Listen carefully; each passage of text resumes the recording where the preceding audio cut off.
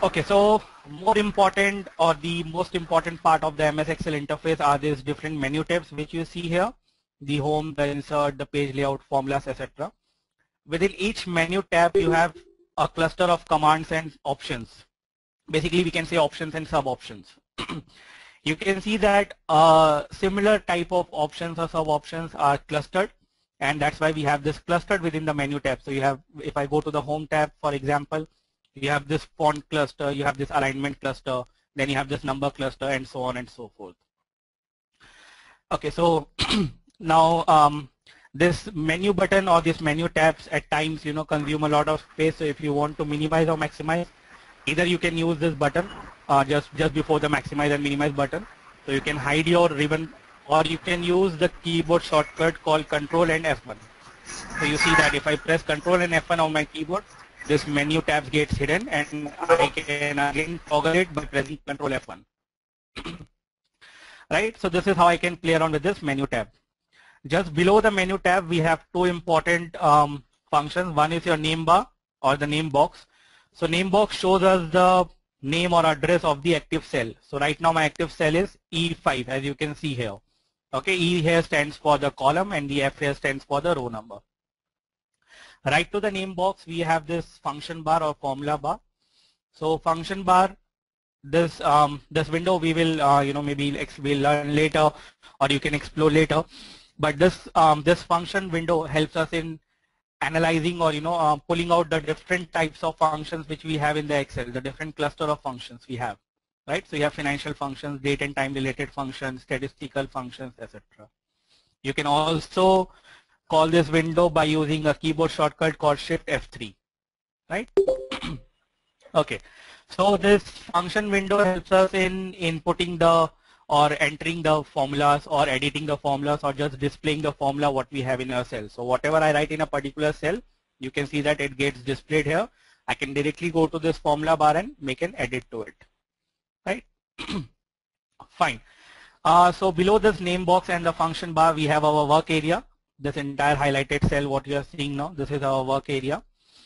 Um, so this work area basically consists of the matrix of a rows and column.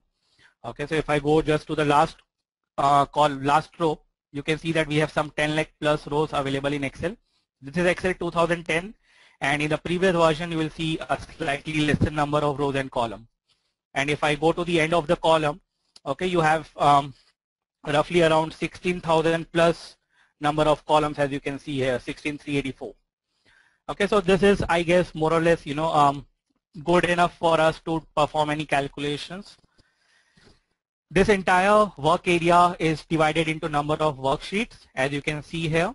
Okay all these worksheets are named differently but by default Excel name them as sheet 1 sheet 2 sheet 3 etc we can navigate to each of these worksheet either by directly clicking on this worksheet by using our mouse or we can also use the control and page down to go to the next tab. Okay or you can use control and page up to move back to the previous tab. Okay so we can navigate or toggle between different worksheet by using our control page up and page down formula. I mean keyboard shortcut. Okay so um, that's that's one way of navigating to different worksheet. Or we can also use the uh, go to command button by using control G on our keyboard so this is our go-to window. We can directly write the name of the cell or the worksheet wherein we need to go. Okay, so more on this control command, uh, go to com command later. But right now, let's move on with the Excel interface and let's talk about the navigation part now. So I move on to the next tab. Fine. So let's, uh, if we want to navigate between each of the cells in Excel, we will use the arrow key. So each of our keyboard has arrow key, the four arrow key, top, down, right, and left. So we can move or change the focus area of the cell by using our arrow key. If we want to select multiple cell, then we need to use the shift button. So keep pressing the shift button and then along with that use the arrow key. Okay, or I can use the mouse to select the area. Fine. So that's how we select different cells or a range of cells in Excel by using our shift and arrow keys. Okay.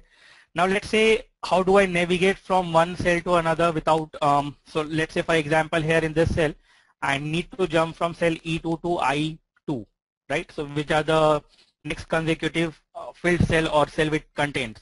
So I use my control and the arrow key. So you see that I directly jump from cell E2 to I2 by using my control and the right arrow key.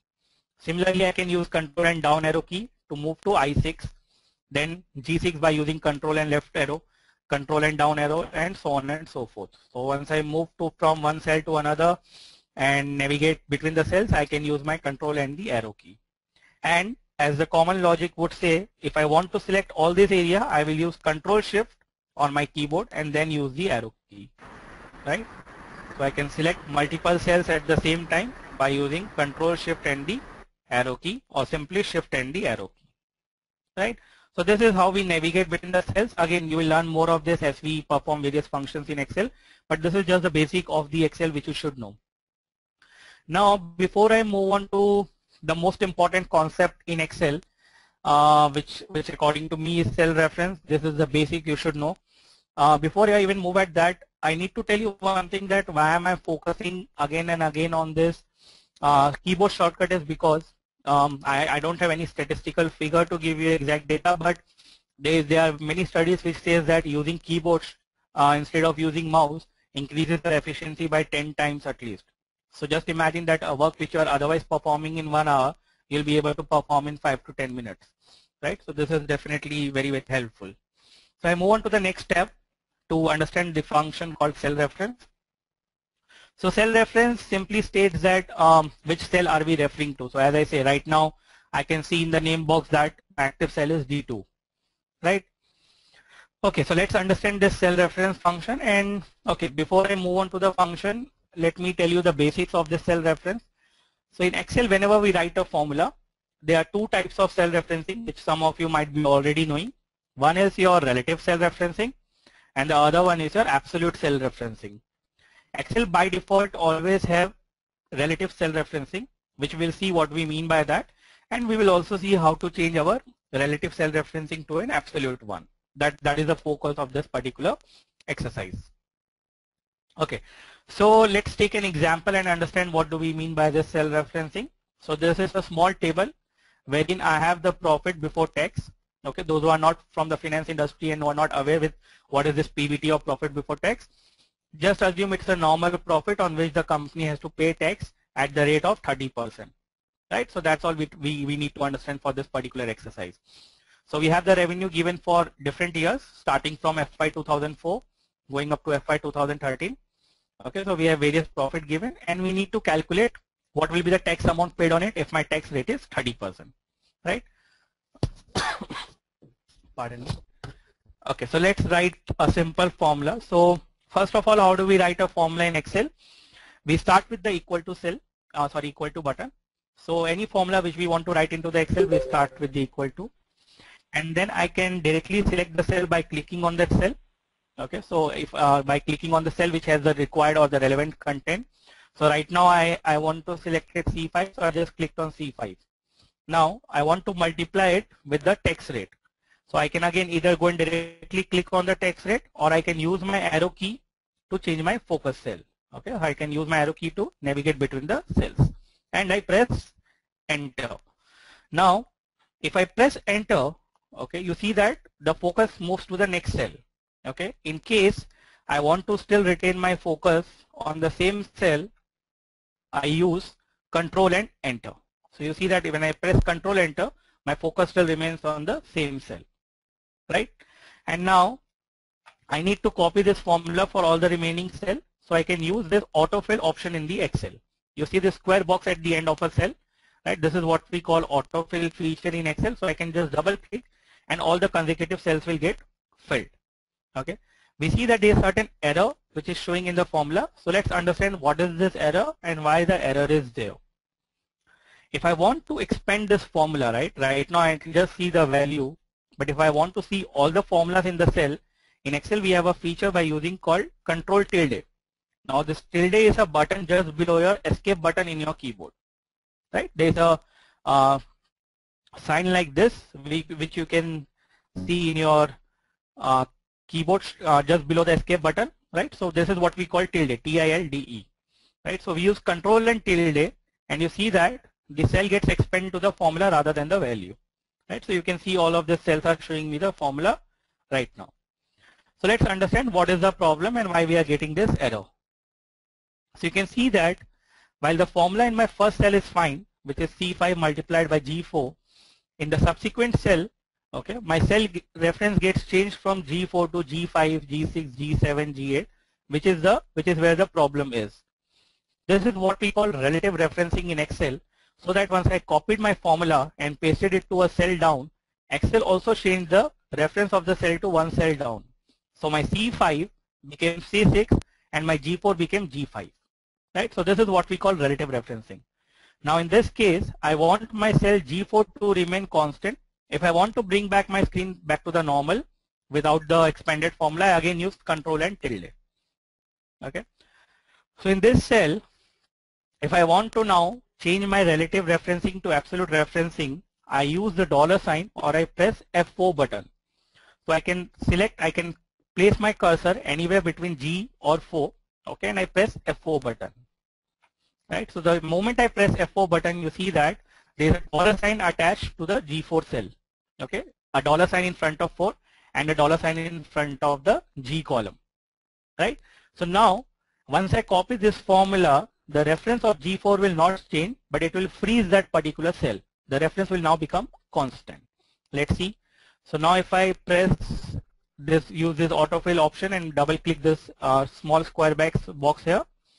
So you see that my cells, my consecutive cell gets filled with the same formula and you can now see that my reference doesn't change and it freezes the formula to G4 every time right? So now I have changed my relative referencing to absolute referencing. I still retain the relative referencing of C5 because I want the cell to change each time for the profit of different years.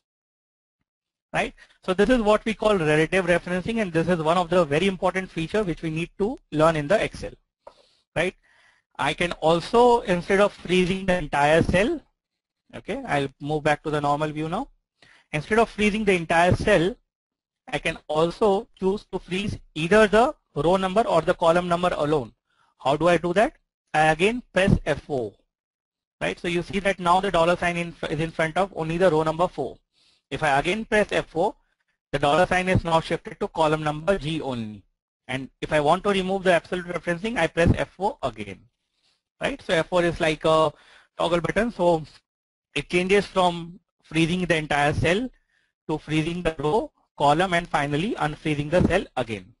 Right? So right now I want to freeze cell G4, so I'll press F4 again. Right? So this is what we call absolute and relative referencing in Excel. Any questions at this point of time? Fine. So we have one more exercise uh, for you which we can explore later. And this is what I uh, what we want basically is that on the on this um, on this uh, column, we have the prices of a commodity given to us, the different prices, and we have the volume given to us, right? So I want the revenue for each of this price and volume combination, right? So if I write a simple formula, that will be price into volume, right?